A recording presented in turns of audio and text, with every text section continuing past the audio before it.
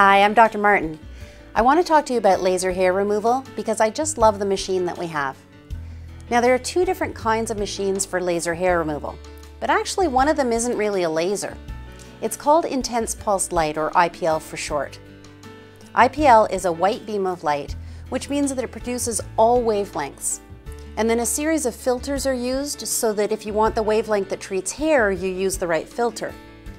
So the problem is that when all the energy goes into making the white light and just a little bit goes through to make the 800 nanometers, which is what you need.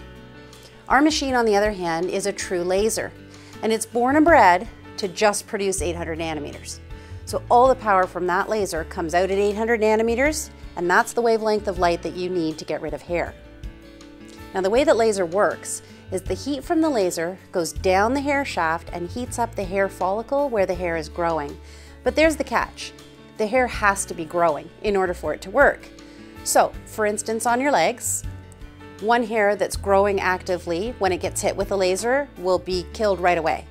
But another one might be asleep for as long as three months, not growing at all, just sleeping. And then at the end of those three months, it wakes up and it starts to grow. Now you can treat it with the laser. And that's why you need a series of treatments. We need to treat you every six weeks for a number of times, usually about six, sometimes eight times, to make sure that we hit every hair at exactly the right time in its cycle. The good news about laser hair removal, unlike waxing, is that you can shave before treatments. In fact, you have to. And that will come as a welcome piece of news to those who are used to having to grow out the hair before waxing. It's especially good for our clients that are coming in for lip and chin hair, which is probably the most common one that we do. A couple of other things you need to know. We prefer that before you come in for laser hair removal, you haven't been out in the sun within about the past two weeks and that your skin is not tanned. Also, you cannot be on any antibiotics or other medication that sensitizes you to light.